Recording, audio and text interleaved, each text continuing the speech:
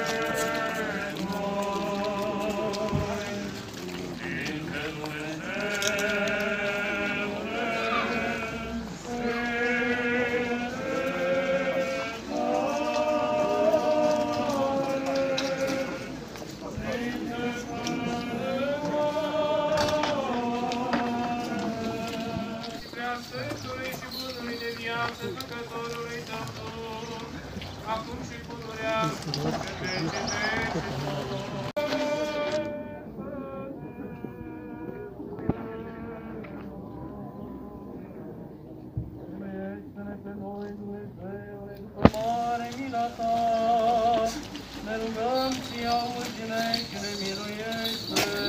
Stea, seninătatea privirii Lui și bunătatea inimii Lui. Totdeauna era cu surâsul pe buze, chiar și atunci când veneau peste el necazuri, încercări, suferințe și nu au fost puține.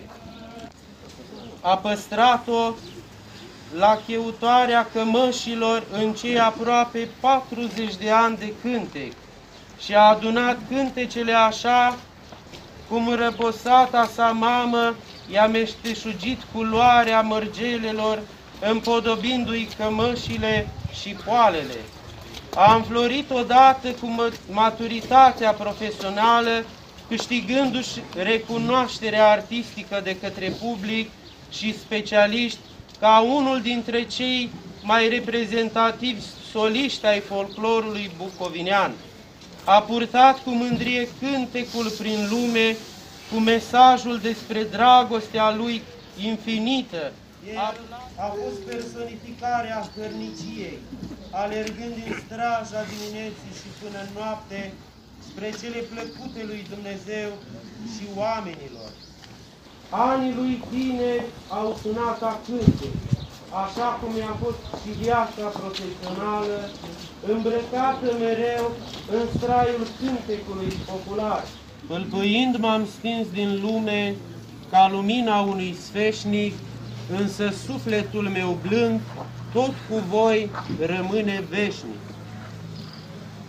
Cine și-ar fi închipuit cu puțină vreme înainte că deasupra casei familiei Domnului Finiș, Gheorghe flutură aripa morții. Stăm cu tremurați în fața deznodământului prea timpuriu, care a adus moartea unei ființe deosebit de prețuite și de iubite. Familia înregistrează o mare pierdere în persoana celui care a fost un soț devotat și un tată jertfelnic. Firesc, jale este mare, plâng toți cei care l-au cunoscut, l-au apreciat și l-au iubit. Dar peste plânsul tuturor se ridică ca o volbură puternică până în azurul cerului strigătul de durere al soției sale Ana, a copiilor